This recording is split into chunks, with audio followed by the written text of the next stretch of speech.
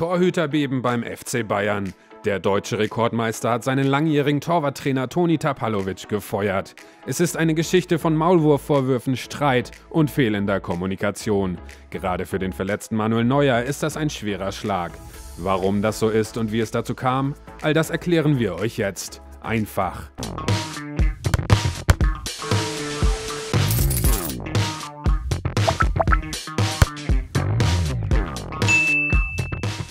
Dieser Paukenschlag überschattet selbst Serge Gnabrys Ausflug zur Pariser Fashion Week. Der FC Bayern München hat Torwarttrainer Toni Tapalovic mit sofortiger Wirkung freigestellt. Gerade einmal 69 Wörter hat der FCB für die Pressemitteilung übrig, in der der Abschied des 42-Jährigen kommuniziert wird. Nicht gerade viel für einen Mann, der seit 2011 maßgeblichen Anteil daran hatte, dass Manuel Neuer zu einem der besten Torhüter aller Zeiten wurde. Die Begründung der Bayern, insbesondere Differenzen über die Art und Weise der Zusammenarbeit hätten dazu geführt, dass man getrennte Wege gehe.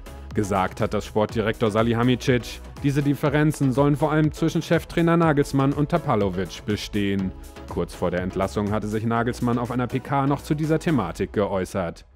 Generell ist es immer wichtig, zu allen äh, Personen in deinem Trainerteam ein intaktes Verhältnis zu haben. Eine professionelle Zusammenarbeit geht immer im Sinne der Sache. Klingt nicht gerade nach eitel Sonnenschein. Ob er da schon von der Entlassung wusste?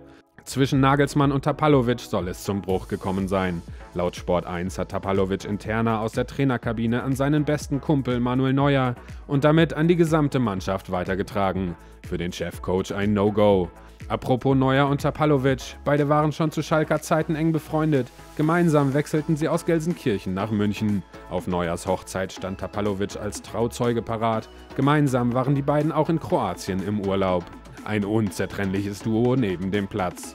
Und auf dem Platz. Gerade der Umgang mit Neuers potenziellem Nachfolger Alexander Nübel brachte Tapalovic viel Kritik ein, auch intern.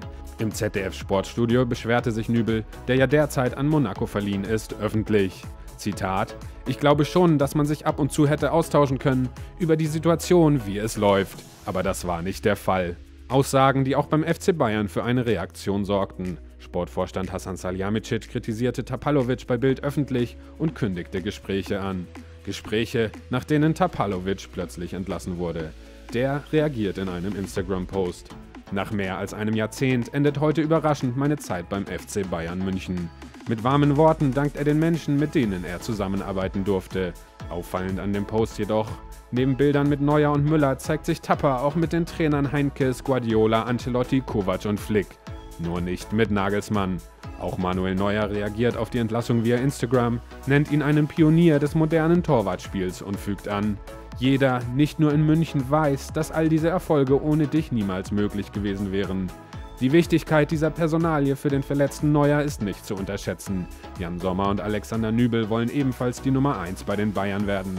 In diesen Konkurrenzkampf wird Neuer nach seiner Verletzung ohne seinen größten Unterstützer gehen müssen. Die Zeit der Sonderbehandlung ist endgültig vorbei.